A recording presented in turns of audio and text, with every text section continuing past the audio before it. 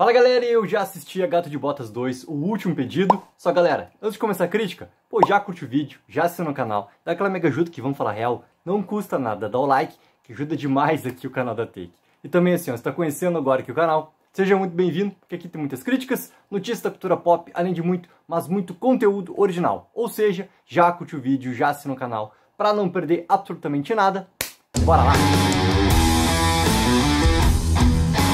Seria justo dizer que a DreamWorks Animation não é o rolo compressor que costumava ser.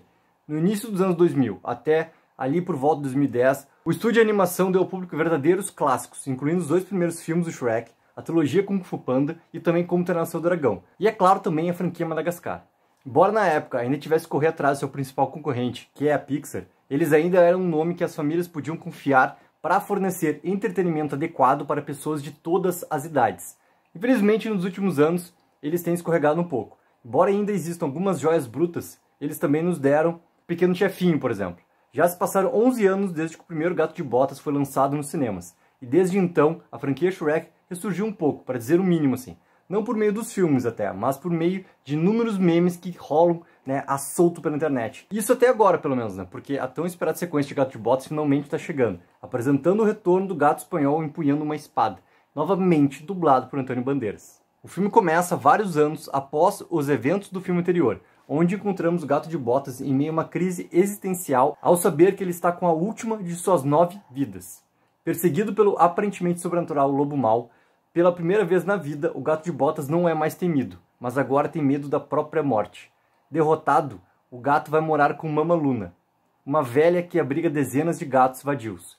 Forçado a viver como um gato de verdade, Gato de Botas conhece Perro, um cachorrinho desarrumado vestido com um suéter de meia que vive indesejado com os ratos debaixo da casa de Luna.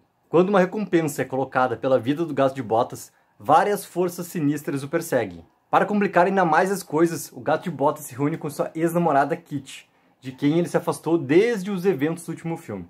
Depois de saber de uma estrela cadente que tem a capacidade de conceder vidas adicionais, o Gato de Botas, Kit e Perro embarcam uma aventura selvagem para chegar à estrela antes que seus adversários cheguem primeiro. Para uma sequência que levou mais de uma década para finalmente chegar às telas, Gato de Botas, o último pedido, pode ter sido o herói que a DreamWorks precisava o tempo todo.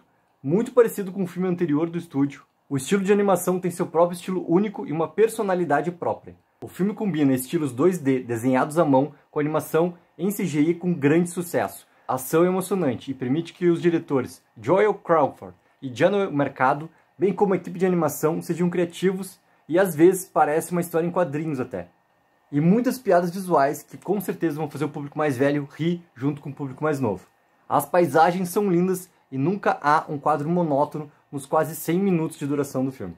E assim, Antônio Bandeiras está melhor do que nunca, dando voz novamente ao Gato de Botas, pois ele traz novas camadas ao personagem a enfrentar um dilema existencialista mais ainda do que era anteriormente. E os novos personagens também são maravilhosos, assim como toda a equipe de dublador original, trazendo suas próprias personalidades para os papéis. O filme é, surpreendentemente, muito mais ambicioso e maduro do que se poderia esperar. Vai além das mensagens que você pode esperar de um filme familiar comum e decide se aprofundar nos temas da mortalidade e confrontar a morte.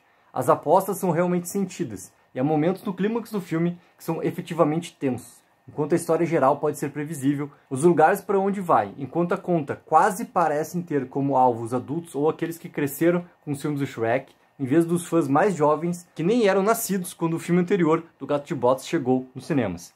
As piadas são abundantes e é um dos filmes mais engraçados do ano, mas é o forte núcleo emocional que mantém o filme unido. Em uma época em que muitas sequências falham em atingir seu potencial apenas tentando recriar o que seus predecessores fizeram tão bem, Gato de Botas, o último pedido, pretende fazer algo diferente e que mostre um futuro promissor para DreamWorks, ainda mais do que aparenta com vários dos antagonistas do filme, incluindo o relacionamento de Caixinhos Dourados com sua família improvisada e a conexão do Lobo Mal com o Gato de Botas.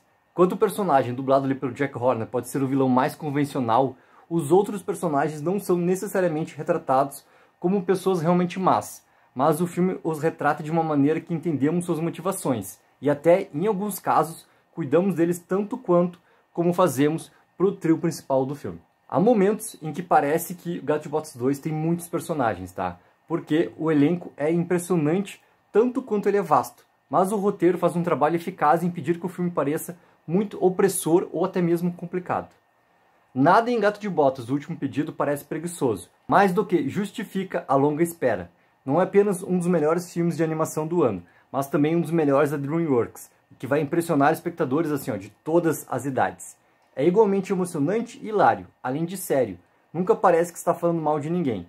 E com certeza dá para cravar que a DreamWorks está de volta agora com esse segundo filme do Gato de Botas. Então, galera, coloca nos comentários a expectativa de vocês para poder assistir Gato de Botas 2, o último pedido. E, se já assistiu, coloca nos comentários também o que vocês acharam do filme para a gente seguir essa conversa. E não esqueçam sempre de dar aquela ajuda, que é mega importante, de curtir o vídeo e assinar o canal. Take04, viva o sonho aqui!